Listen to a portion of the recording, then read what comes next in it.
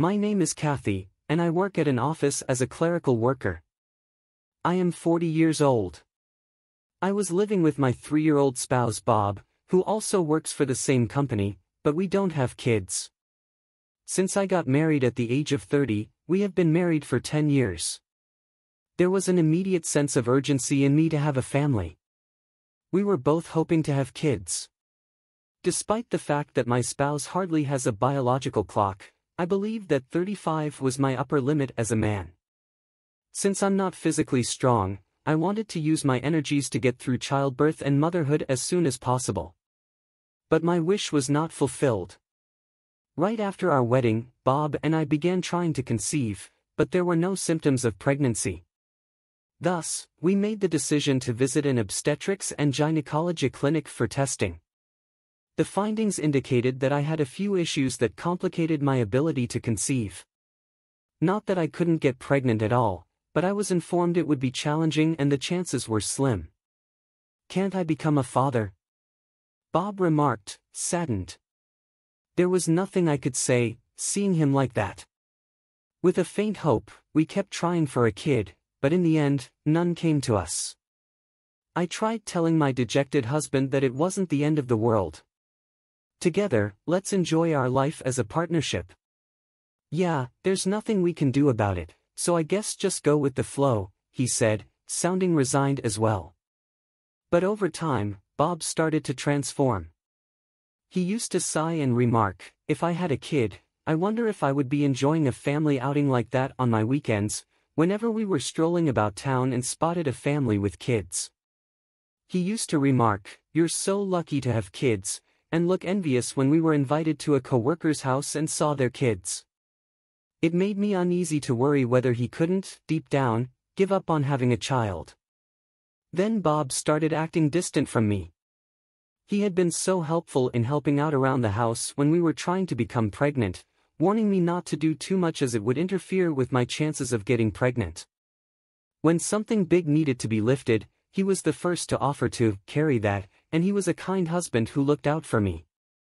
He would constantly take over the domestic duties on the weekends, claiming that I take care of them during the week. But he stopped trying anything as soon as he realized I couldn't become a mother. I'm tired, and housework is a wife's job, right? After that, he merely lazes around on the weekends. Either he was dozing off or fiddling with his phone. All of a sudden, I had more work to complete, and my health started to decline. He would remark, I don't know, do it yourself, and not even try to help me when I had a fever or stomach ache. Since it was true that I was the reason it was difficult for us to conceive, I was unable to respond to him. I pondered whether or not to file for divorce. Bob was transferred right when I thought everything was going great. It seems that he was selected for a significant project at one of the connected businesses. He had to move for job because the subsidiary was located on the other side of the state. Naturally, I assumed I had to accompany him, but he added, you're not required to attend. I'm going to travel alone. After hearing those remarks, I paused to reflect. Perhaps he was simply angry and indifferent to me since I was unable to conceive. Maybe a little time apart will help him get over his feelings, and our quiet friendship can resume. I nodded and said, okay, I'll remain here. Be careful. After his transfer, I said him farewell. He would only come home around once a month.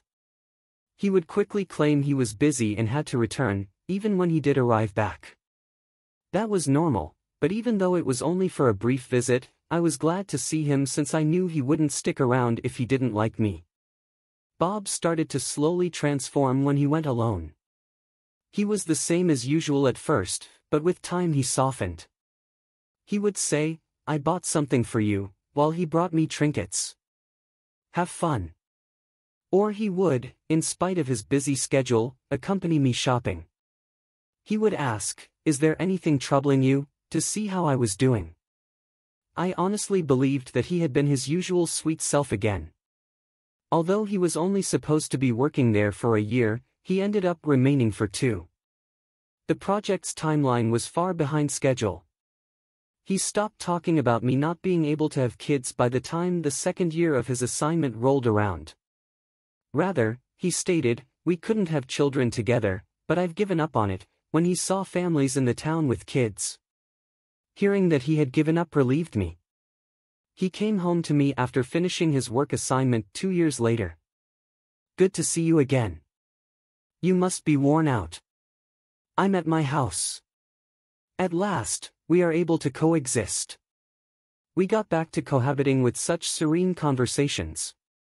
But those quiet days were over before long. When he came back, he told me something. One of the young girls in my family got married and had a baby before that. She claims that because she is too young, she cannot raise it by herself. Are you okay with us taking the child under our wing? Abruptly, he made a proposal. I questioned, what's going on, surprised by the abrupt proposal, and he replied, we couldn't have a child, after all. I propose that we take in and raise this child as our own. I answered, let me think about it, and ended the call since I was so taken aback by the unexpected turn of events. But something about his story seemed strange to me. His parents weren't in constant communication with us, and his family resided far away. We were so far apart that we hardly ever exchanged Christmas cards. I didn't know his family well because we didn't have a wedding ceremony. I told Bob, hesitant to adopt a child from someone I barely knew, is it possible for me to meet the child's parents? I would like to know their character. He vehemently objected, stating, Why is it important who the parents are? Why does that pique your interest so much? I believe that knowing the parents' identities is crucial. I want to know all the specific reasons why they are unable to raise the child, starting with the father's story. He became agitated and stated, the father ran away, when I pressed him. I was told. Give up prying into the parents' lives. When advised that you should adopt a stranger's child out of the blue, you don't just answer, sure, why not? How in the world are you thinking? I felt compelled to reply in a stern manner. He then yelled, Enough. We can no longer work together if you decline to take the child in. Leave immediately. Those remarks gave me the impression that I had heard his actual intentions. Whatever the cost, he wanted a child. He didn't care that I was here. That's what I started to think. I also thought I was at my breaking point. Alright, I'll gather my things and leave. After that, I hurriedly packed up my things and departed from our house that day. I took refuge in a motel close to the train station because I had nowhere else to go. My husband's divorce proceedings proceeded without a hitch. We used legal counsel to address all of the concerns so that there would be no disagreements later on. Property partition, alimony, and other difficulties were resolved amicably. I quit and looked for a new job since I felt uncomfortable working for the same firm as him. I was able to secure employment at a small law office since I was certified as an administrative assistant and possessed strong computer skills. It took me some time to get used to my new work environment, but I was able to work every day and have a calm existence anyway. After two years of living apart from my spouse, I had grown accustomed to returning home to an empty room. After a year or so of this life, my ex-husband showed up at work one day carrying a small child. Why are you here? he cried upon seeing me at the reception. He was taken aback. Why am I not present here? Here, I am employed. I mean, it's evident, right? The moment he heard this, his face went white.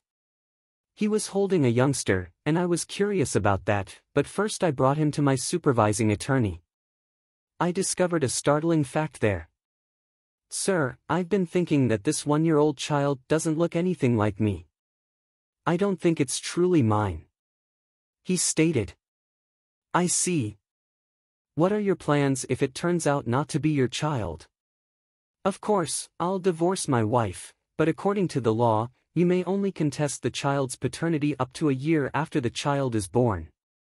You would still be required to pay child support even if a DNA test revealed the child was not yours. What?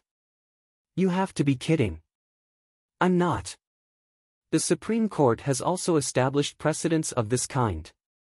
As a clerk, I was transcribing their talk when it occurred to me. He had cheated on us and fathered a child throughout our marriage. It was evident that the child was conceived approximately a year following his business travel, based on the child's age and the length of the pregnancy. Subsequently, I recalled that he had shown me extraordinary kindness ever since. It occurred to me that he might have felt bad. His present spouse appeared to be his colleague from a previous job. Every time he gave me an explanation, his face would get pale. It made sense, there was his former spouse, whom he had attempted to elude with the child from his extramarital affair, just a year prior. Finally, he said, okay, let me take a DNA test first and then think about it. With these last remarks, he turned to walk away. I disclosed my divorce from last year to Mr. Williams, my attorney. Mr. Williams was taken aback when my ex-husband came back at the end of the day and inquired, you know you can claim alimony for infidelity within two years of discovery? What are your plans? Of course I want it, I replied. I also wish to take it from his mistress. Alright, let's get the processes underway straight away. Many thanks for it. Ultimately, I made alimony claims against my ex-husband and his lover, his current wife, through my attorney, Mr. Williams. I mailed the claim not only to their residence but also to their places of employment and his in-laws' residence in order to keep them from avoiding it. Then my ex-husband called me immediately. What exactly is this assertion about? It's an infidelity-related alimony claim. I'm not going to pay alimony because you're already divorced. That is untrue. After infidelity is discovered, you have two years to file for alimony. Your infidelity was discovered after our divorce last year, therefore it's still within the claim period. Then a voice I didn't recognize urged him to adjust, and she picked up the phone. Hello, what's with this claim? Her abrupt outburst caught me off guard, so I said, Who am I speaking with? She answered, I'm his spouse. Return at least my portion of this assertion. However, it seems sense for me to ask for alimony after being duped. He claimed to be single, so pay attention. I went out with him because I believed he was unmarried. I was unaware that he was married at the time. It is not important to me. It doesn't negate the fact that you had an affair with my husband, even if he lied about being single. I'll take all of your nice $20,000 back. As they get older, our child will require money. There's no way we can afford such a huge amount of $40,000. That is not an issue for me. He has a respectably high position and you both work, so I don't think there's a money problem. You know, he received a wage reduction and a demob because you sent that allegation. My salary decreased after I was demoted from a full-time position to a part-time one. We're not able to afford to pay that much money, she sobbed. Ask your parents to pay for it, then. I will not back down in the slightest, and I will not pay. She yelled, and he returned to the phone. As my wife put it, we are going to face some financial challenges. Would you kindly withdraw the claim? No, I'm not going to give up on it. Let me tell you something positive, by the way. What's that, since we're at it? I asked him. Do you remember we had a fertility test a few years ago? Yes, indeed, we did. Even so, it became apparent that I was having issues. Actually, the test results show that you also had a problem. What? I take it you're kidding. It is accurate. While it's true that I had an issue, you also did. I kept it a secret at the time because I was stunned and didn't want to harm you. The test results paper is still with me. Do you want it sent to you by me? I said that, and he murmured, it's not true. It is untrue. Most likely, the shock had made him forget about everything else. In all honesty, the doctor at the time did mention that there was a serious problem with me, but my husband Bob also had his share of issues.